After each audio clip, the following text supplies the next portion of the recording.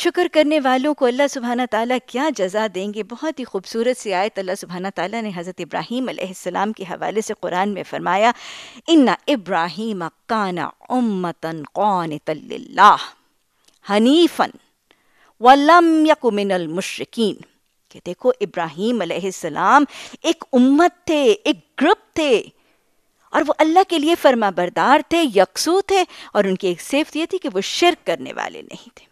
حضرت ابراہیم علیہ السلام کی تعریف فرماتے ہوئے، پھر آگے اللہ نے تعریف فرماتے ہوئے فرمایا وَشَاكِرًا لِيَنْعَمِهِ کہ حضرت ابراہیم علیہ السلام جو مسلم حنیف تھے، اللہ کے فرما بردار تھے، قنوت اور فرما برداری اور شرک کی نفی جن کا طریقہ تھا، ان کی پھر ایک اور بڑی پسندیدہ صفت یہ تھی کہ اللہ کے انعامات پر شاکر تھے۔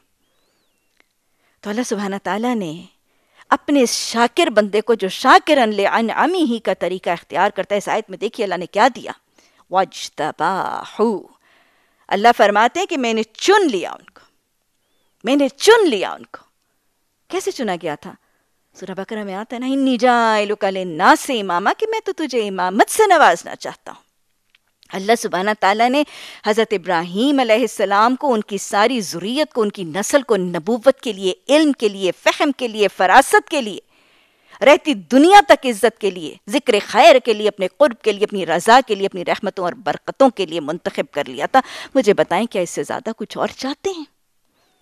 شاکرن لے ہی کو اللہ نے پہلا معاملہ کیا وجتباہ دوسرا معاملہ وہ خدا ہو صراط مستقیم اللہ سبحانہ تعالیٰ نے اس شاکر، صابر شاکر بندے کو چننے کے بعد سرات مستقیم کی طرف ان کو اور ان کی ضروریت کو ہدایت دے دی۔